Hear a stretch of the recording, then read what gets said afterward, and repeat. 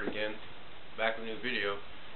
Previous, in the previous video I talked about uh, what I feel to be the six things that a person needs. I talked about three of those things, uh, food, water, and shelter. Uh, in this video I'll be discussing fire, defense, and communication.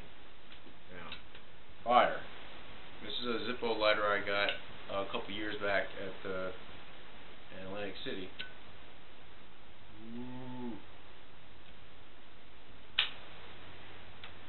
There we go. I keep that I keep that lighter with me just about everywhere I go because you know it's important to have a means of you know lighting your way and keeping yourself warm. Now, uh, you may be wondering you know, how do I keep myself warm with a Zippo lighter? Well, build a fire. Now, I can build a fire. Um, the body needs you know the body needs warmth. Uh, it goes it actually goes in part with protecting yourself from the elements you actually kind of take an aspect of one of the elements and use it to your advantage, which is fire. Uh, and fire can encompass many different things. You know, for one thing, heating. You want to keep your body warm during uh, during extreme cold temperatures. Right now in South Carolina, the temperature has dropped considerably. Uh, I think when I got home from work, uh, you know, late, real late last night, it was close to like 35 degrees, uh, Columbia, South Carolina, and so you know, a guy in the house would keep it at 70. It's good, it's good to have a means of keeping yourself warm. You don't want your body to get too cold, uh, where you, you know, hypothermia could result, and you know that wouldn't be good. So have a means of keeping yourself warm, whether it be through building a fire, if you, you know, if you live, if you're, if you're, you know, you have no choice but to be outside, or you know, you have like a, um, this goes through, you know, during times of being good or bad, you have uh, like a Mr. Heater, propane power heater, or a, you know, with adequate ventilation, you know, you can warm up a section of the house where you can have you and your buddies and your family, you know, huddle around and keep warm, uh, keep help keep each other warm. So fire, you know, fire is good in that in that instance. Also, uh, I know in the UK they call a flashlight a torch. Well, because well, essentially is so it is a torch. Uh, having a flashlight is important because you know, in the case of power outages, you want to be able to see what's in front of you, uh, obviously. Um, you know, having a good flashlight, something you know, that produces a good amount of light, you know, sometimes, you know, smaller the better as far as the size of the flashlight goes. Uh, some people have, you know, as I've seen, um, you big Maglites that sell, you know, that some cops have, some security officers have, and you know, see some of the small ones, you know, I mean, you can hold in your hand and you just push a button and you can hold like this, shine a light on something. It's always good to see, you know, be able to illuminate illuminate the situation. Um, if, you know, if you can't, if you don't have, know, you don't have access to a flashlight, there's always candles. Uh, candles have been around for centuries. I don't see them ever going away anytime soon. So it's always good to cap cap capitalize on it. Have yourself a couple, have yourself a couple of candles on hand. Oil lanterns, uh, those those those prove to be very useful, uh, you know, in light up situation. With that comes a, with all those things comes build comes maintenance. You know, you have to maintain, you know, your heating elements in your house in order to keep yourself warm, so that they work during a time of emergency. Also, with flashlights, have extra batteries at hand. Uh, have extra bulbs at hand because bulbs do go out, as, as well as batteries going dead. Uh, one, so a couple flashlights I have, I have hand crank flashlights. Um, you know, those are those not really much maintenance uh, needed with those. Maybe just a bulb that needs to be maybe a replacement bulb, but that's about it.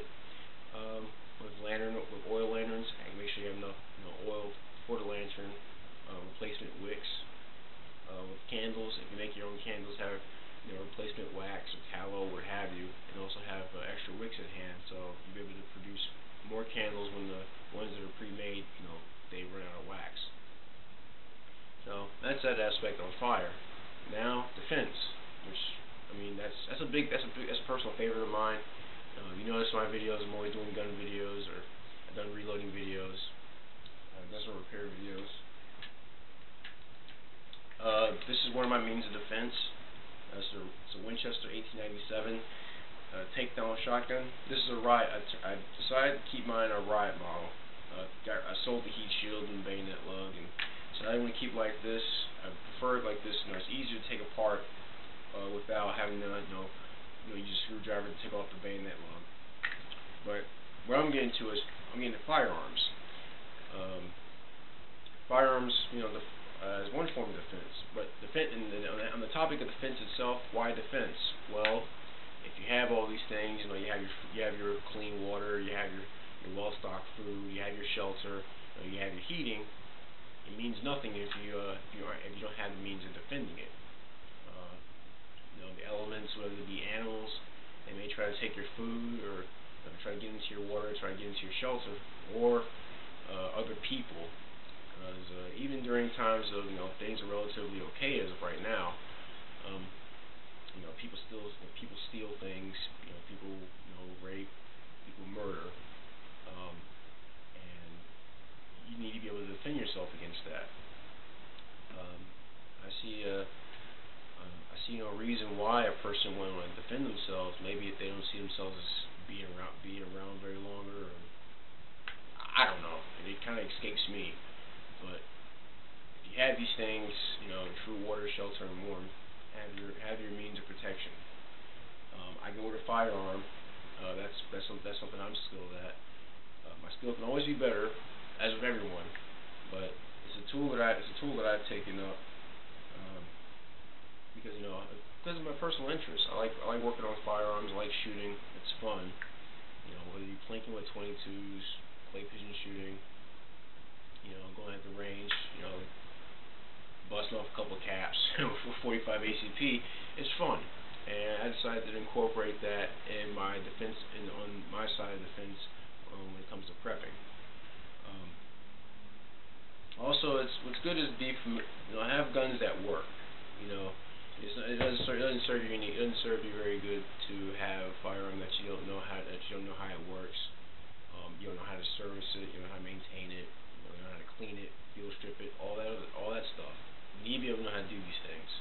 And that goes with anything. That goes with that goes for maintenance with just about anything you have. You know, mending clothes, cleaning you know cleaning water, storing food, maintaining your firearms because you want them to work, especially during times when you need them.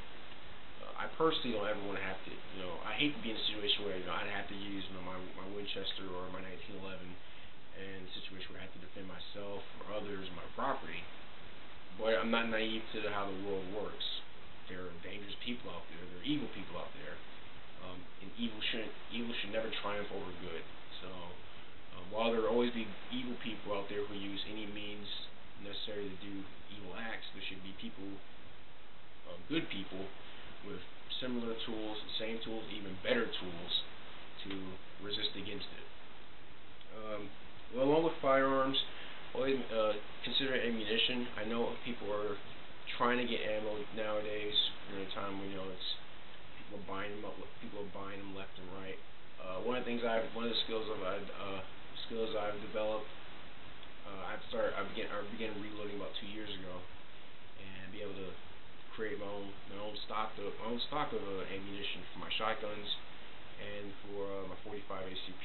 I haven't had anything yet for 357 Magnum or uh, 223 or uh, 3030 but you know, hopefully I'll be able to provide for those in the future. Also consider different types of ammo. You know, there's you know there's FMJs and there's um, or are hollow points. You know, each each round has its own application that, that you have to consider. With shotguns, there's birdshot, there's buckshot, and there's slugs. Again, you have to consider the consider the applications that you decide to use those for. Um, with rifles, there, there's FMJs, there are hollow points, soft you know, soft lead nose, consider what you're going to use them for. Um, you know, I keep my shotgun loaded with double aught buck. Uh, I have some other, you know, some other, um, some other different types of shot at hand, but that's what I'm comfortable with using with my riot shotgun. Some people use knives. I have one of my friends. Uh, he's really into using knives. That's more of his thing. And um, there's always if you're going to use an edge edge weapon as a defensive tool, you know, it's good to have good to have a, uh, a practice because you know you, you're close. You the chances are you'll be closer to close to where you're going to use it against. Uh, learn how to maintain it. You know, know how to keep an edge on the on the blade. Know how to keep your blades clean. Know how to store them. Uh, how to keep them on you if if, if need be. Uh, you know, there are some people who uh, they're not very comfortable with having you know having to use lethal force against a person. Uh, there are non-lethal options. You know, there's you know beanbag rounds, uh, rubber buckshot shotguns. There's you know rubber bullets for handguns. Uh, you know, there's stun guns, batons. But just cons- but uh, for those who don't like to use lethal force, uh, I'd like for you to consider consider the fact that as well, or rather the possibility that whoever you're using it, whoever you're using it against, if you mean to defend your life or someone else's life or you know, your property, you have to remember that they're gonna they're gonna try to meet you with greater force than what you're gonna than what you're gonna throw out. So I understand you know the I understand the concern for not wanting to take a human take another life, but also understand that they may see you they may see your life as nothing but an obstacle between them and whatever you have. So always keep that in mind and, and at least have something at least have a, a lethal means of force as a backup. So you know, that's my um that's my talk on uh, on the side of the fence. And next is communication. Uh, why communication? Well, you need information. You need to be able to talk with other people. You need to be able to gather information about you know certain situations. Um, me, I've been you know looking at the news, been talking to friends, you know, talking to my neighbors, you know, see how things are going, and it help. It's good to stay well informed, not just informed but well informed because uh, you may get information that conflicts with one another, and it may it may you know muddy it may cloud your it may cloud your judgment when you're in pursuit of the truth. And so you want to make sure that you gather as much information as you can, you know, decipher it, and be able to make an assessment as to what's you know, what's really going on, you know, going by what's by what you know already and what's presented in front of you. So with communication, there's you no know, there's word of mouth. Um, I don't have uh, I don't have a radio. And I have a ham radio, but I do like to go out and talk to people out are around my area, talk to people at work, talk to people, um, you know, my neighbors, get to know the people I live around. You know, get to know people you know on YouTube. YouTube is a form of communication. Uh, you know, getting different tips from other preppers, uh, the survivalists. You know, even though, you know, just uh, just uh, just general just general overview of getting getting to know other people. That way, I can gather information about um, about things that are about the issue, about situations at hand. Uh, radios are great investments. Um, people get ham radios, you know, broadcast to back and forth to one another. Some people don't have a ham radio license. They may have a receiver. They can just receive information, which is also good. Um, you know, you keep that radio on. Something comes up, you know, you tune into it. So you, you know, tune into it so you get the information. So uh, so you know how to better calculate your next move, whether that move may be on food, you know, gathering food, collecting water, uh, storing up ammo, uh, finding finding fuel for warmth. Uh, communication can be communication can be a, a you know an invaluable tool at your disposal. Uh, there's also, you know, getting, you know, also like I said before, getting to know the people around you. You know, I have neighbors across the street that we check in on each other from time to time. You know, I talk to my friends in the house. You know, communicate with my family, you know, um, within the state and outside the state. Um, and I remember during Hurricane Sandy, there were some people, you know, that they were just trying, they were, they were, you know, glued to their phones to make sure that their family, make sure that their family were, their friends and family back up north were okay. And, this, and that's understandable. I mean, we have concern for others, so we try to try to keep in touch. It's always a good thing. You also just, you know gather information about the situation, and that's good. Even you know, like Hurricane Sandy would be like a kind of a you know SHTF situation. Well, actually, was a SHTF, SHTF situation. I mean, there, there were people who got hurt, people uh, people lost their property you know, there was a lot of damage. So it may not be nationwide, but that region did suffer some. Uh, but even but by going back to the things, you know, being, you know, you want to do these things when things are relatively stable. Um, that way, when things, if if and when things become unstable, you can go back to, you know, go back to remember what you what you were doing in the before, and you know you can know who you can talk to about certain things.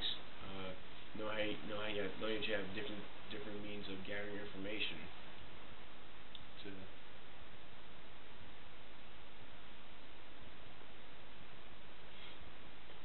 to help assess the situation.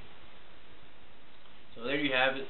Uh, those are the two videos that the two videos I made, you know, discussing water, food, shelter, fire, defense, and communication. Uh, I believe those things are essential to everyone, whether it be either, you know, whether it be like a, a, a prepper or just someone who's living, someone who's living day to day. But it's always good to have those six things provided for. It makes life a lot more easier, especially during times of emergencies. But that's my video.